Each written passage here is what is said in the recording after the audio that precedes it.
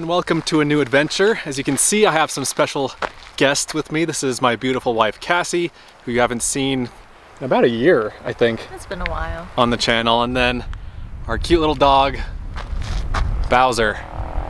We are in Montana. We're about three hours from home. This is just a two-day trip, quick trip. Both days will be in this video. The entire trip will be in this video. Our focus here is gonna be southwestern Montana, basically the areas around Butte and Bozeman.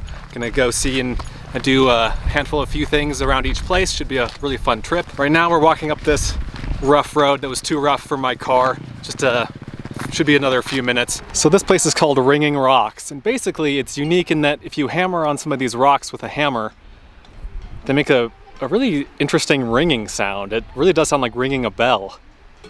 I don't know if you can really hear anyone doing that over there right now. I brought a couple of hammers, so give one to each of us and start hammering away. All right, Cassie found a good ringing rock over here. That's a good one. Ooh, that one's good. This is how a rock normally sounds. Just regular. And these are the ringing ones.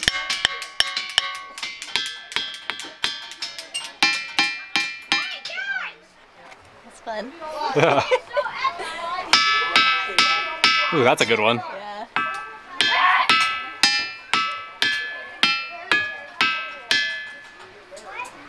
I don't know if Bowser's enjoying this, but we definitely are.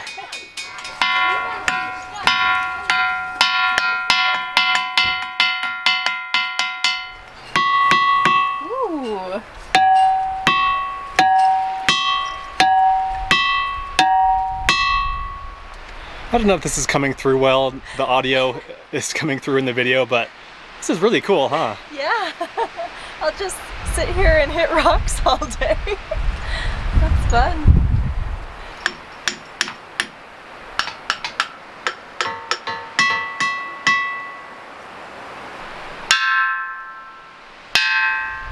Gonna try to scramble up to the top of this pile here, the top of the rocks. Okay, here's the view from the top.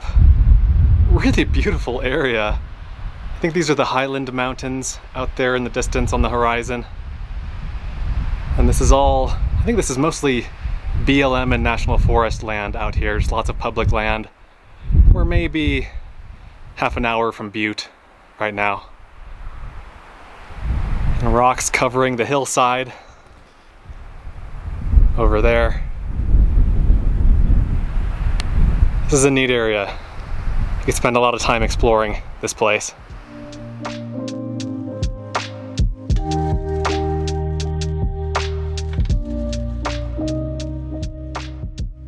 That was a lot of fun. I think we spent about 20 minutes here. Yeah. So Yeah, what a what a strange place. I've never never seen anything like this. Cassie was saying we need some of these at our house. Maybe when we buy a house, we'll have someone dump a bunch of rocks, a, a truckload of rocks in the yard, and hopefully some of them some of them will ring. Uh-huh. There was this kid on the other side. She was saying, I don't think we have to worry about snakes here because annoying kids like us keep banging on the rocks. I was like, good point. It's just a few minutes walk back to the car, and then we're gonna drive about half an hour to our next destination.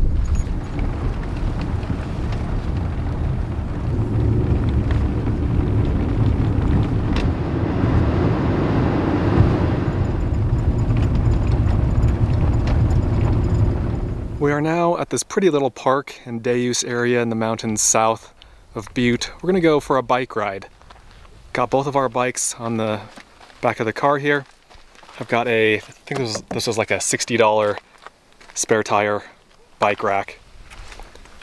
Gonna get these together and then head out on the trail. So there is a, a trail out here. It is a an old rail trail, or more specifically, it is currently a rail trail. It used to be a railroad, used to be a train track, and they converted it into a trail. So the grade is nice and easy. It's not too steep. We're gonna ride this for a couple of miles through a couple of tunnels, and then there's a spot at the end, the place that we're really aiming toward that looks pretty spectacular from the pictures that I've seen online.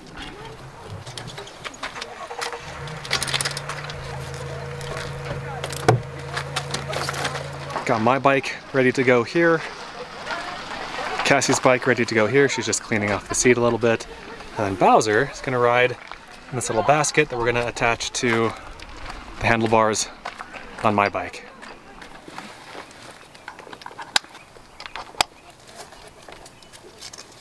Okay, basket is on. Only thing left to do is to put a little boy in it.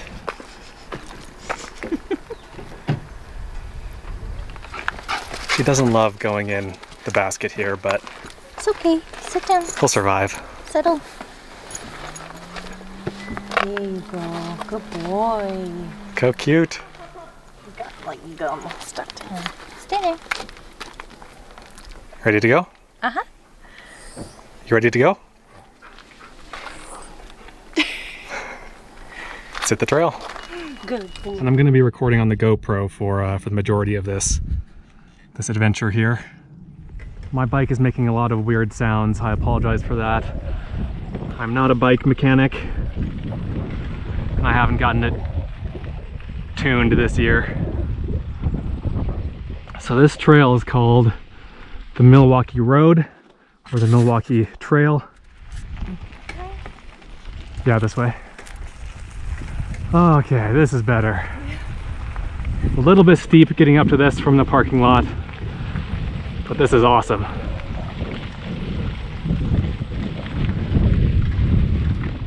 Beautiful area, beautiful place.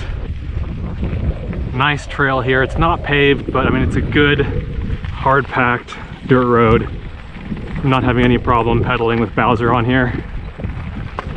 Usually when we go for a bike ride, Bowser's a little bit uncertain and skittish at the beginning, but he gets used to it and he gets comfortable pretty quick. Maybe not comfortable, maybe it's more just resigned to his fate, but he accepts it and he he does well on bike rides overall. Some old railroad ties over there. This is the first of two tunnels we'll be biking through.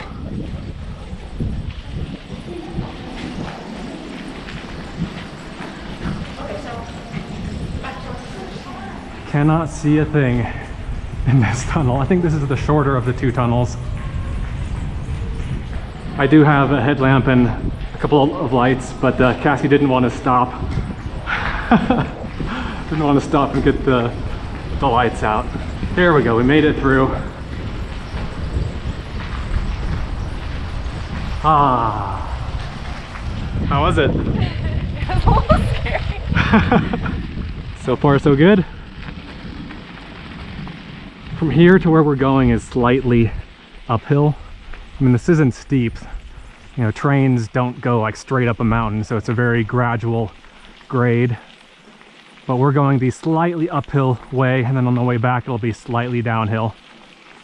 But it feels very mild, very moderate. This is not a steep climb by any means.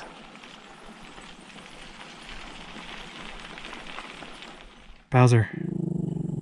He's growling. He can hear some voices of people in the tunnel. He's very protective.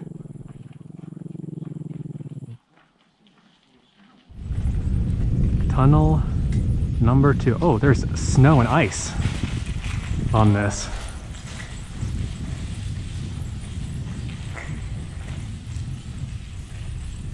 I don't know if you guys can see this, but I have a little square filming light here that I use to film when it's dark.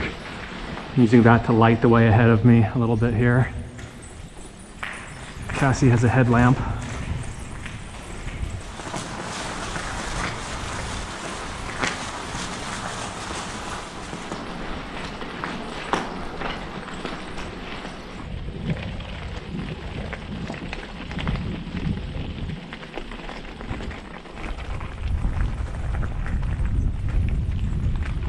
Here on our destination, just popped into view. It's a bridge. It's an old trestle bridge, a spectacular bridge over this little narrow canyon here.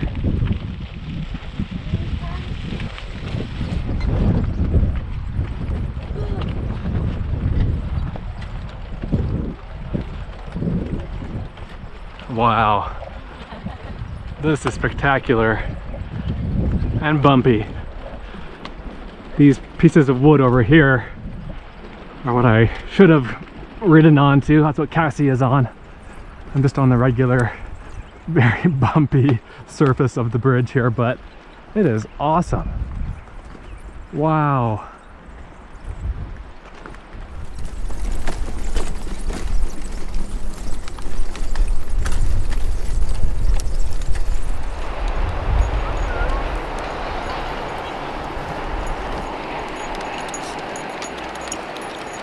What do you think? It's a little hard to stay on this.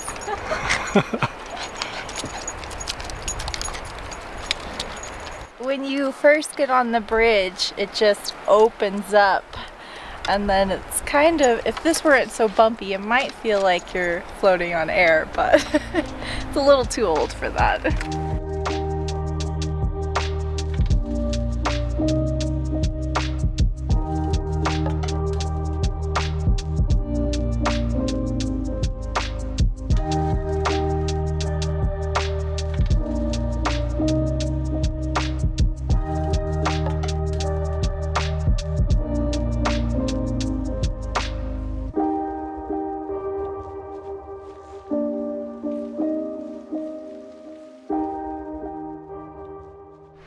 Really cool bridge here and there's a nice little creek flowing down below us. You can actually drive to right underneath the bridge here. I think we might do that once we get back to the car. It's not much of a of an additional drive, not much of a detour. Reminds me a lot of the Hiawatha Trail, which I biked a year or two ago. Just spectacular.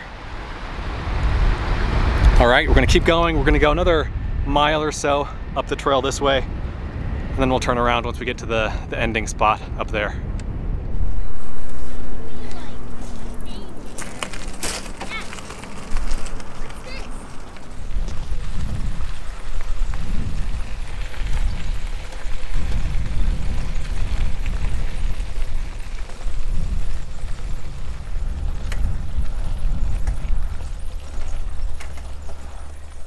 Ooh, this part is steep and I'm not used to riding with a creature on my handlebars.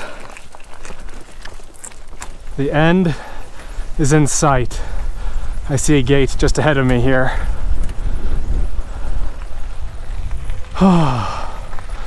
and this right here is our ending point. This is the other trailhead. Whew.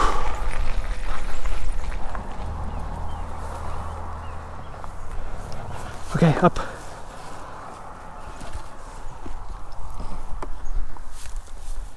Right, I made it up to the top here.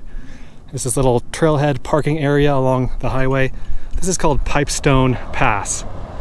And this is actually on the Continental Divide. So on one side of the divide, all the water flows into the Atlantic Ocean and water's connecting to it. On the other side, the water flows into the Pacific Ocean and the water's connecting to it. So we are straddling that divide. We are right on top of the Continental Divide right here. And this trail this is actually the Continental Divide Trail. So this trail goes from Mexico to Canada through New Mexico and Colorado and Wyoming and Montana and Idaho. I don't know if you can really see this, but it says Continental Divide Trail. From the original trailhead to the bridge took us about 40 minutes. It was two and a half miles. Then from the bridge to here was another I don't know, 15 minutes, maybe maybe less. I don't know. It's about a mile or so. Hey Bowser. Bowser's happy to be out of his prison, out of his cage. Thoughts? That that was nice until that last part. yeah, the last part was steep. Yeah, and I I need to fix the gears on my bike because they don't stay where I want them to stay. Yeah, we definitely have some bike maintenance to do here think we're gonna rest up here a little bit and then turn around and coast downhill, cruise all the way back to the trailhead.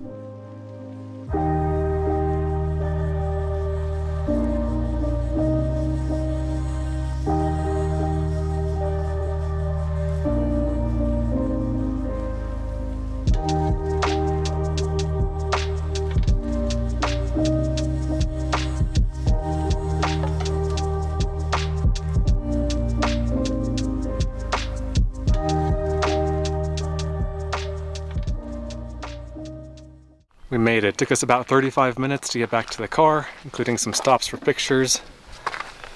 Bowser's in one piece. How'd you like it? It was great. It was even better on the way back when I learned how to ride my bike.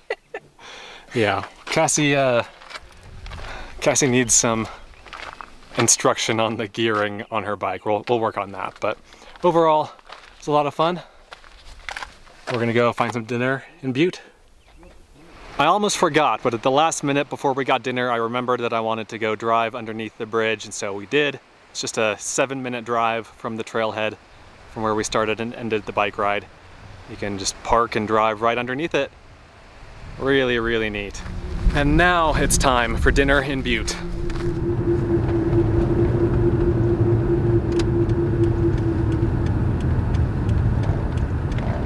We made it to Butte. We're not going to spend a ton of time here. I have other videos about Butte if you want to check that out. I'll put one of them in the video description and then there's a an adventure know-how bonus video from several months ago where we spent quite a bit of time here in winter. We love this city. Super cool buildings here. But we are gonna have dinner at a taco place right on the corner here. Taco del Sol.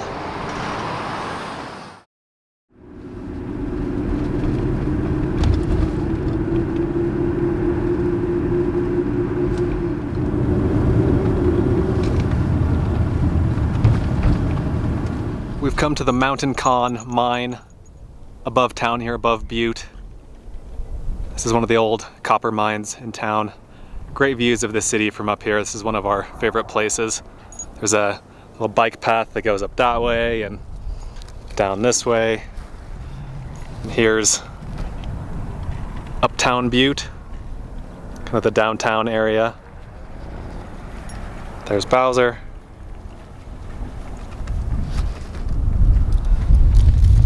Let me show you what we got for dinner.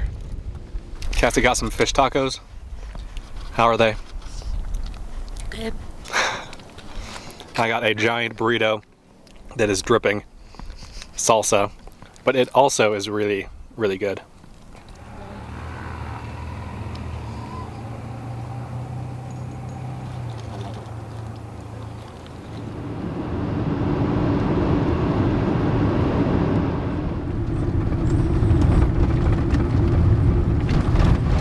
About an hour and 45 minutes later. It's quite a long drive to get out here. We're in the mountains in the Tobacco Root Mountains. This is a mountain range that I've never been to before, so I wanted to come and camp here.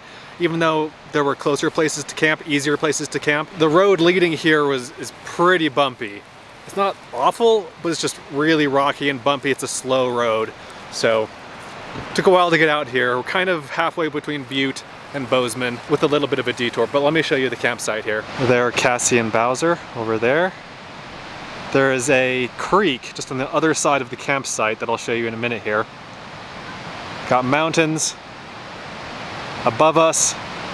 There are some incredible mountains farther up the valley here that I'll show you right now. I'll take some drone footage and I'll roll that drone footage here.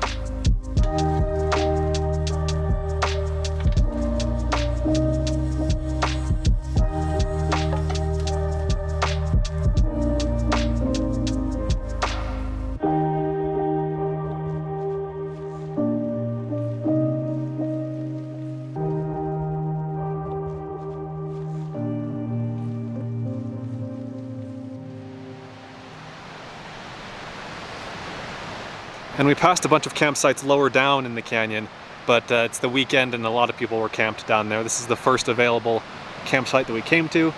It's free, dispersed camping. Great spot. There's Bowser in his cute little sweater. Cassie in her cute SUV RVing hoodie. and then here's the creek, or the river. This is the South Boulder River. Just you know, 30 feet from camp here. Really pretty creek. Over here, there's an interesting little shelter, a little bushcraft shelter.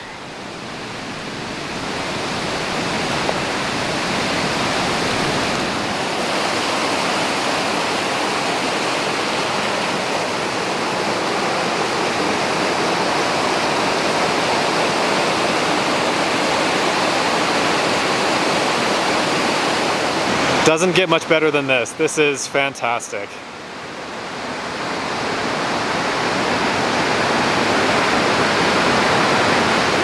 Here's our sleeping setup in the back. It's gonna be a chilly night tonight. We have a ton of sleeping bags and Bowser will keep us warm. And awake because And he awake. snores so loud. Yeah, he's a he's a little snorer. Ready for bed? yep, I'm tired. And with that, I will see you guys in the morning. Good morning. It's about 10 o'clock the next morning. I slept pretty terribly. Bowser slept in between us and uh, was just kicking me and cuddling up against me all night, which on one hand is kind of nice. Like it's nice to feel him there, but he was also taking up a significant chunk of my side of the mattress. So I wasn't very comfortable. We'll ask Cassie in a minute here how she slept, but it's a beautiful morning. I'm ready for the day. I'm excited for the day. There's one last look at the campsite and of the creek before we get out of here. And let me show you what we have in the back, how we've organized everything. So basically we pushed all of our bedding toward the back and then this is, is Bowser's stuff. This is the basket for the bike and his food and leash and everything in there. This bag is my clothes and my camera gear. This bag is empty, it's just a, an empty hiking backpack that we'll put food and snacks in as necessary. Here's Bowser. And then here are Cassie's bags over here. This one has uh, clothes and toiletries, and then the smaller bag is kind of her purse. It's got her book and her her wallet and uh, and makeup and everything. And so last night when it was time for bed, we just moved these things up to the front seats, and then this morning we moved them back. It's a simple setup and it requires very little specialized gear. You just need basically a flat surface and a mattress and a cute little dog. So Cassie, how'd you sleep last night? Um, I think I slept pretty good. I got too hot and Bowser snoring woke me up. It wasn't as loud as it could have been, but it was still loud enough to wake me up a couple times in the night. But overall, it was really nice to be able to go back to sleep to the sound of the river over here. Yeah, the creek here, I mean, this is the best white noise you can get. Just perfect, constant, natural sound. It's really nice. We are now gonna head out of here. We're gonna drive to Bozeman, which I'm guessing will take us an hour and a half, maybe two hours to get to. We've got a couple of things planned there, nothing too crazy. We're just gonna pop into a couple of spots that we've been wanting to go back to, and then we'll hit the road and continue on into the mountains from there.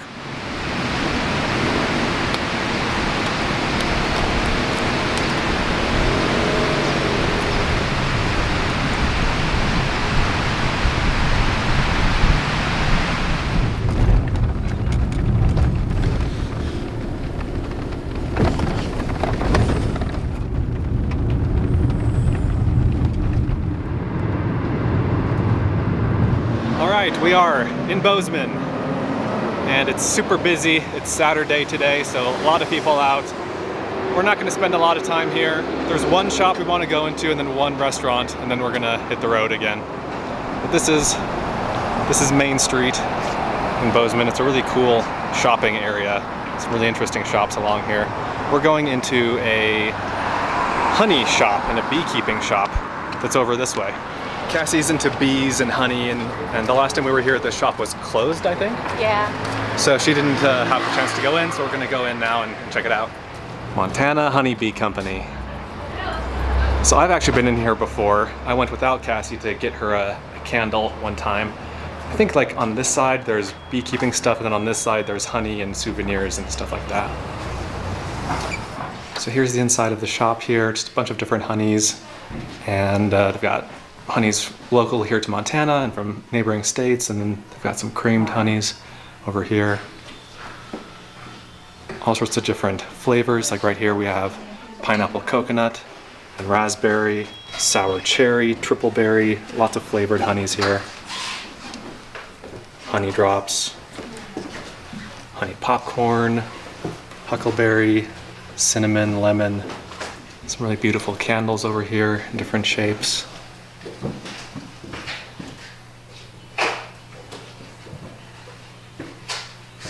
Rows of lotions and salves and body butter, soap. And then here's the section that's all beekeeping supplies.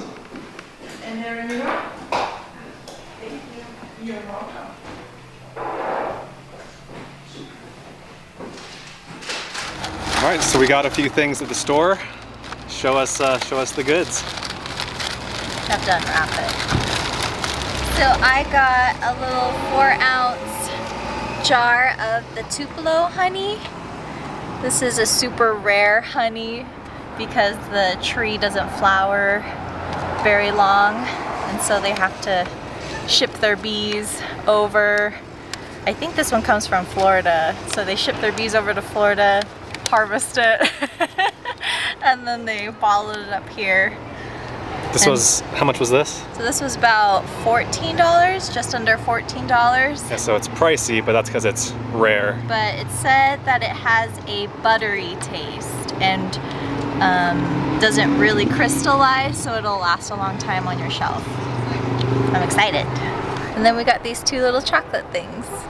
I'm not sure exactly what these are, but they were cheap. They were like a dollar at the counter, so we tossed these into. But yeah, some kind of chocolate honey treats.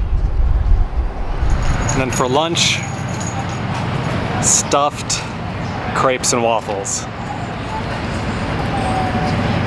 I'll go in and, and order the things for us while Cassie and Bowser stay outside here.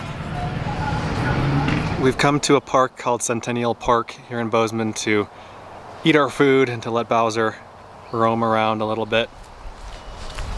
I got a waffle with brownies, strawberries, Nutella, and whipped cream. Cassie got a crepe with cream cheese and strawberries. How is it? It's great. I love cream cheese.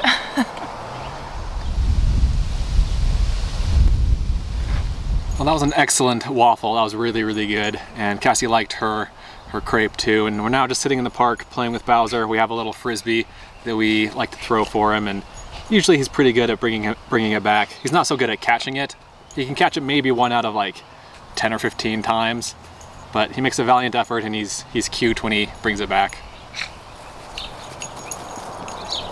oh, so close.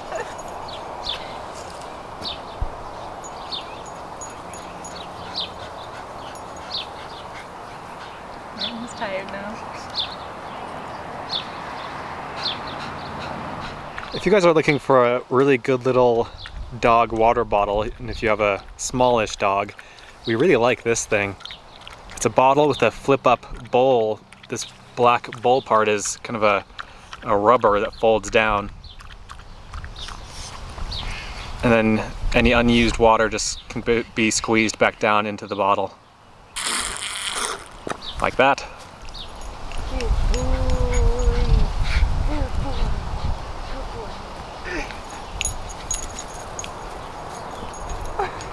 Oh, he caught it!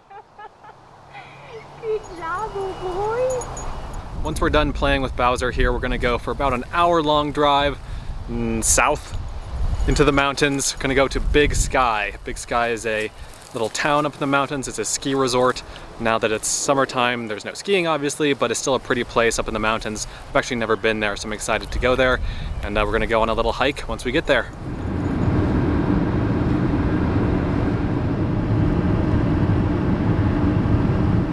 Right, this is the next hike we're gonna do, the last outing on this trip, Ousel Falls.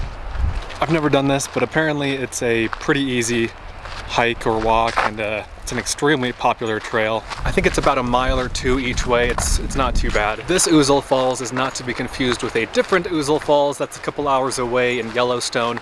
That one is spelled O-U-Z-E-L. This one is spelled O-U-S-E-L. I do know that it's a type of bird. It's like a small water bird that's in this area.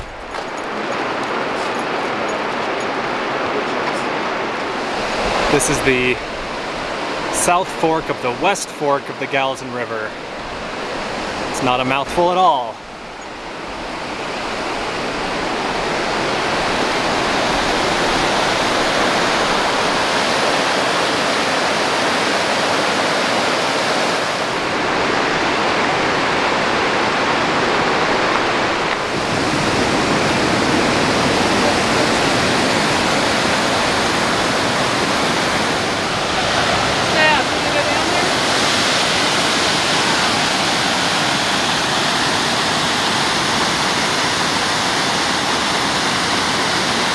A lot of water flowing over those falls right now.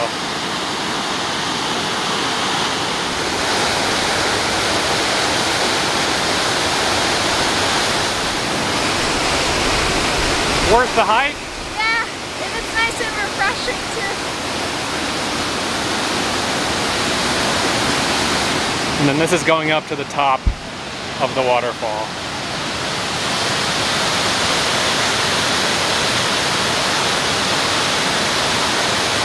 That was a lot of fun. Really loud down there. Very loud and cold. Lots of mist, lots of puddles, but that was great. I think it's about eight tenths of a mile each way, so not bad at all. And I think we're gonna end the video here. Did you have a good time? Yeah, it's probably one of my top favorite trips that we've been on together. And uh, I forgot to mention earlier in the video that this is our anniversary trip. Our anniversary is in a few days, and so we decided to take a trip. We do a trip or do some kind of adventure every year to celebrate our anniversary. And it's our three year anniversary. We've been married for three years. And it's the six year anniversary of our first date. We got married on the three year anniversary of our first date, if that makes any sense to you. But overall, great trip. Thanks for watching. Thanks for coming along. It's always great to have Cassie on the trips with me. She can't come a lot, but when she does, it's uh, it's a lot of fun. It definitely adds to the to the to the adventure and to the videos. Hope you guys enjoyed the video. Thanks for watching. We're gonna head home. It's about a two hour drive from here. Let me know what you think. Let me know if you have any questions. I'll see you in the next one. Be sure to check out Adventure Know How, my new site, where you can gain access to a map of all of my free campsites, plus monthly bonus videos that you won't find anywhere else. Learn more at adventureknowhow.com. And for links to everything else SUV RVing related, visit suvrving.com. Links to these sites and more will be in the video description.